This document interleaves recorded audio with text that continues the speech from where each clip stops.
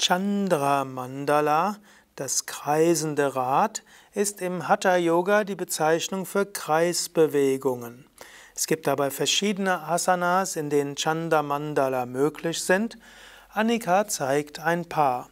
Zunächst äh, Chanda Mandala Halasana.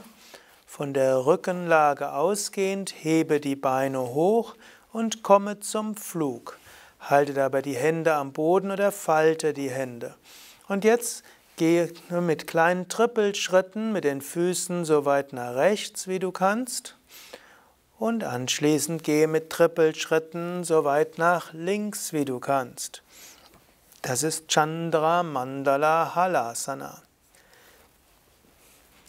Eine zweite Übung, wo Chanda Mandala besonders schön ist, ist aus der Brücke heraus Setu Bandhasana. Von der Brücke Setu Bandhasana ausgehen, unterstütze den Rücken mit den Händen und dann unterstütze den Rücken mit den Händen und dann wandere mit den Füßen so weit nach rechts, wie du kannst.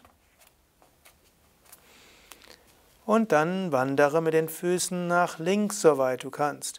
Übrigens gäbe sogar die Möglichkeit, von hier weiter zum Flug zu gehen und dann hast du ein Purna Chanda Mandala, aber das ist das Thema eines anderen Videos. Eine weitere Stellung, wo Chanda Mandala von Schönheit ist, ist von Bhujangasana, also aus der Kobra heraus. Von der Kobra ausgehend wandere mit den Händen nach rechts.